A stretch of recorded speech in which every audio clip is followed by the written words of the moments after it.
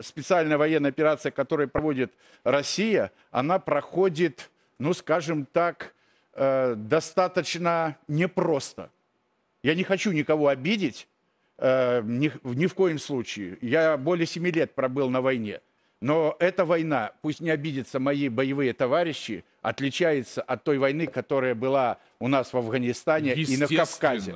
Потому что мы воюем с одной из самых сильных и обученных армий. Воюем с солдатами, офицерами, оружие. русскими, с нашим же таким же менталитетом.